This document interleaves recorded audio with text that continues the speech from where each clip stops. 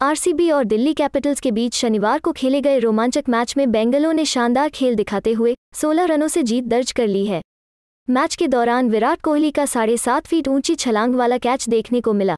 जी हाँ दोस्तों, दिल्ली के लिए ऋषभ पंत धमाकेदार बल्लेबाजी कर रहे थे। ऐसा लग रहा था कि वो आसानी से दिल्ली को मैच जिता देंगे, लेकिन तभी सत्रहवें ओवर की दूसरी गेंद पर छक्का खाने के बाद मोहम्मद सिराज ने पंत को ऑफ़ स्टंप के बाहर बॉल डाली।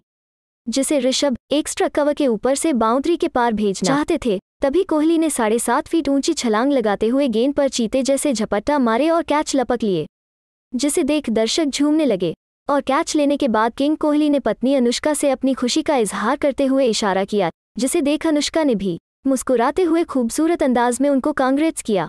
तो दोस्तों, विराट का यह सेलिब्रेशन स्टाइल आपको कैसा लगा? कमेंट कर अपने जवाब ज़रूर बताएँ और वीडियो को लाइक करके चैनल को सब्सक्राइब करें।